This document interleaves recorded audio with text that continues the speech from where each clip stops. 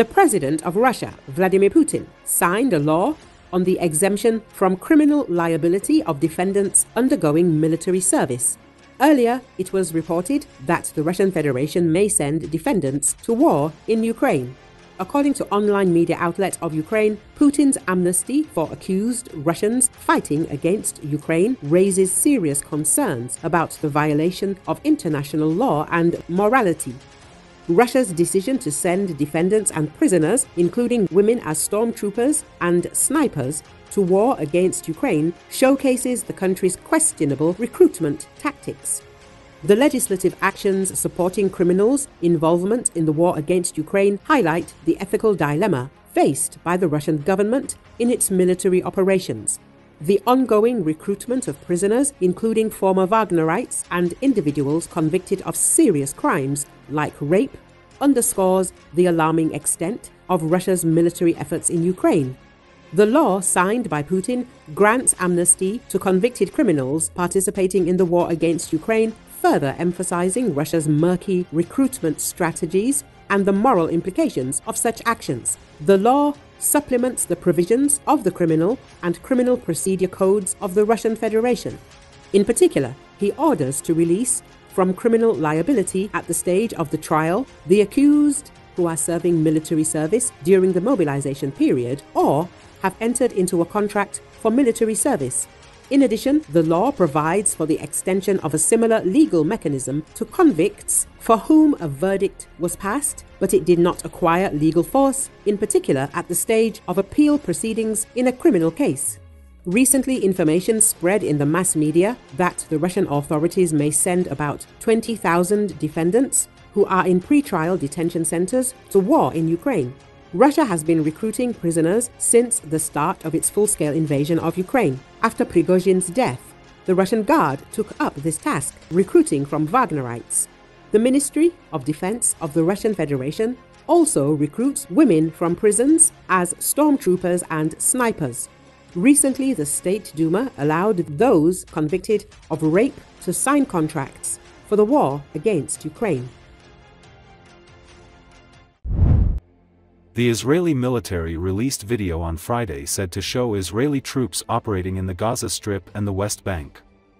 The army said in a statement that forces are operating simultaneously on three fronts including Gaza, the West Bank and Lebanon. On Tuesday, Israel began a ground incursion into Lebanon against the Hezbollah militant group, while also conducting strikes in Gaza that killed dozens, including children. The Israeli military said nine soldiers have died in the conflict in southern Lebanon.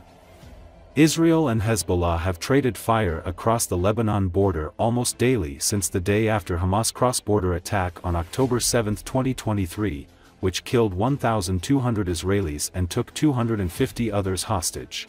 Israel declared war on the Hamas militant group in the Gaza Strip in response. More than 41,000 Palestinians have been killed in the territory, and just over half the dead have been women and children, according to local health officials.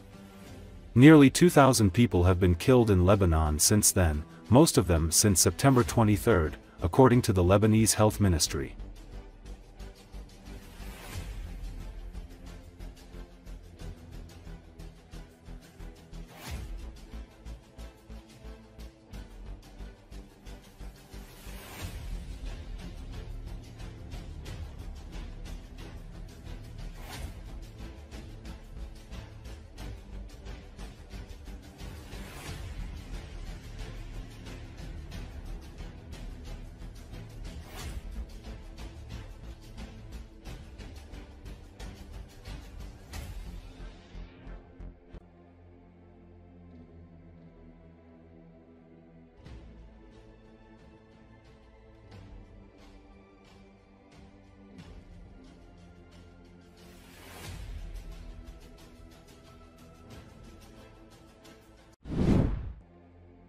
Typhoon Krathon made landfall Thursday in the major port city of Kaohsiung, bringing torrential rains and fierce winds to southern and southeastern parts of Taiwan, according to weather authorities.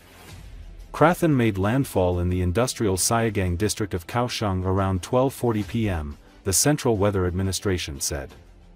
The typhoon packed maximum sustained winds of 126 km per hour near its center, with gusts of 162 km per hour. The typhoon is forecast to move slowly north and weaken into a tropical depression by Friday before it reaches the capital, Taipei. Kaohsiung earlier urged its residents to take cover from potentially disastrous winds.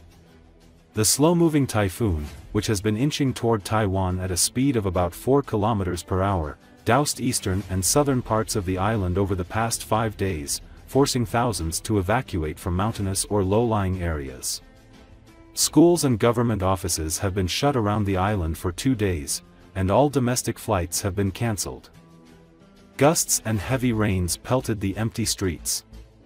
Many residents woke up Thursday to mobile phone alerts urging them to take shelter from the potentially dangerous winds.